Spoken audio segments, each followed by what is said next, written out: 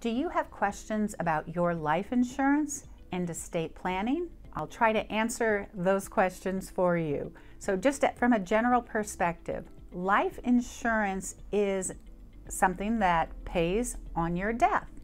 And on your death, well, where does the life insurance pay? Well, it depends. Normally, under a life insurance policy, you will have filled out a beneficiary designation, and that will say, well, where the proceeds pay upon your death.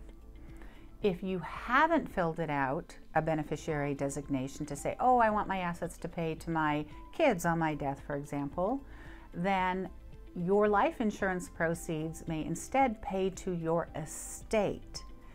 And that might not be the best route to go. If your life insurance proceeds pay to your kids, they are not subject to any creditor's claims you may have. If your life insurance pays to your estate, then those proceeds are subject to creditor's claims.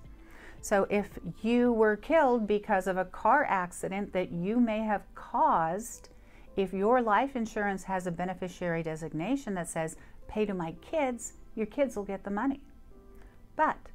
If instead there's it doesn't say that it pays to your kids, it's by default then it may pay to your estate, then those life insurance proceeds are within your estate and the creditor, the person who you may have injured in that car accident that killed you and you were at fault and they are injured, they're going to seek damages against your estate.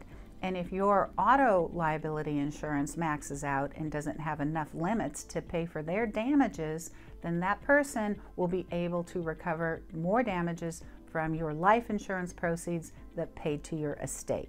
So that's just one example of why it's really important to understand uh, life insurance and where it pays.